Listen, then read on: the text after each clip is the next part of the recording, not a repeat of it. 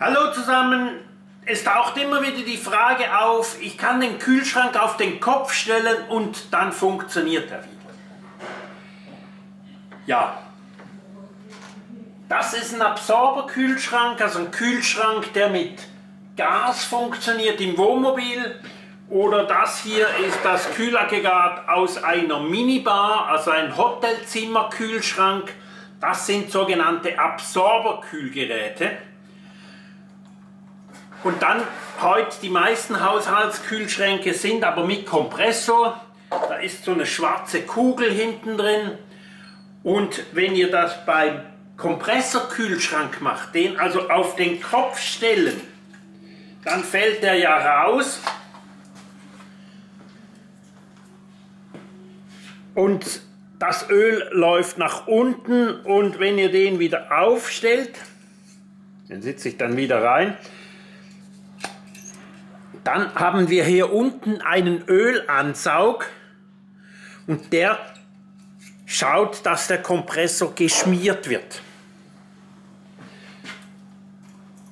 Hat also absolut keinen Einfluss darauf, auf die Funktion des Kühlsystems. Wenn ihr den auf den Kopf stellt und irgendwas macht. Beim Absorberkühlschrank, dieses Kühlsystem, da ja, weil wir haben in diesem Absorberkühlschrank ein Gemisch von Ammoniak, Wasserstoff, Wasser, teilweise Helium und Chromat.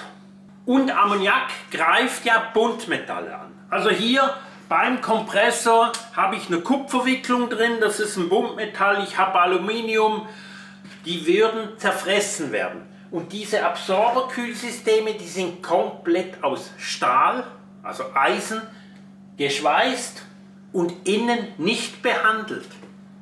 Nur, äh, Stahl, Eisen rostet ja nicht, wenn es kein Sauerstoff dazu kommt. Nur aus was besteht Wasser? Wasser besteht aus Sauerstoff und Wasserstoff. Also ich habe trotzdem Wasser Sauerstoff im Kühlsystem drin und durch das habe ich eine Oxidation. Wenn ich aber im Kühlsystem noch Chromat zusetze, dann habe ich äh, Chromat, Chrom, verchromen, habe ich einen Oxidationsschutz von innen her im Kühlsystem. Je mehr das sich zusetzt, desto schlechter ist der Wirkungsgrad vom Kühlsystem. Und wenn ich zu wenig zusetze, dann habe ich ein Problem, dass im Prinzip der Kühlschrank von innen her rostet. Also das System rostet von innen her. Wenn wir das Kühlschrank dann hier anschauen, den Kompressor auf die Seite stellen, das System rostet von innen und das Kältemittel oder das ganze Gemisch sammelt sich hier in diesem Sammler. Es geht hier runter und hier wird es gekocht und es geht oben rum. Durch das habe ich eine Zirkulation. Aber wenn das System rostet,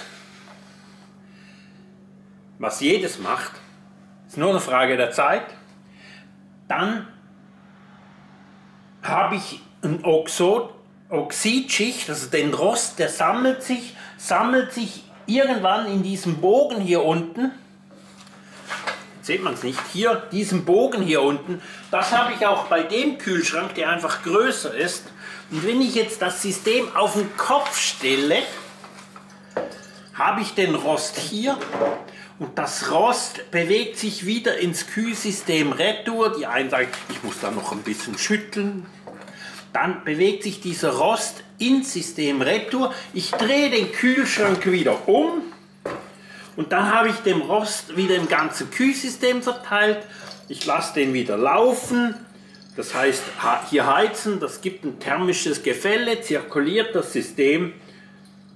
Aber es ist dann offen und es geht nur eine gewisse Zeit, bis der Rost wieder sich hier unten sammelt.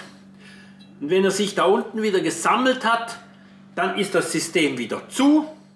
Dann könnt ihr den wieder auf den Kopf stellen. Und weil es ja dann immer weiter rostet, wird es immer mehr Rost im System drin haben und dieser Prozess, bis er dann wieder kühlt, wird immer kürzer.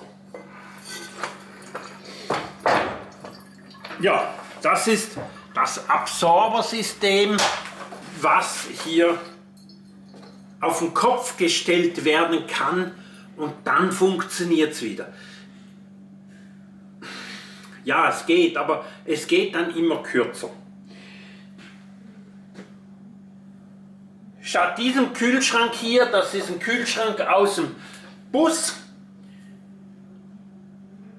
der hat 150 Liter. Hier im Minibar-Sektor, also im Haushaltssektor oder Netzstromsektor, ihr könnt das in Minibar auch in den ins Schlafzimmer stellen.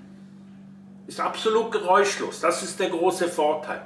Da sind die Geräte nur noch bis 60 Liter erlaubt, also 60 Liter Volumen.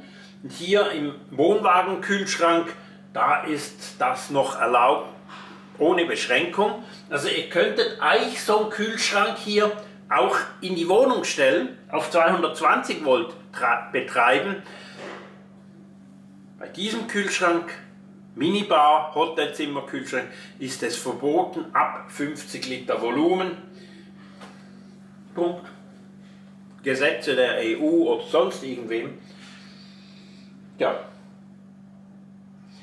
Als Alternative gibt es hier zum Beispiel einen Kompressorkühlschrank, den verlinke ich euch hier, der die gleichen Abmessungen hat. Der Vorteil ist, er kühlt auch wenn er schräg steht, wenn er bewegt wird, wenn es über 35 Grad hat.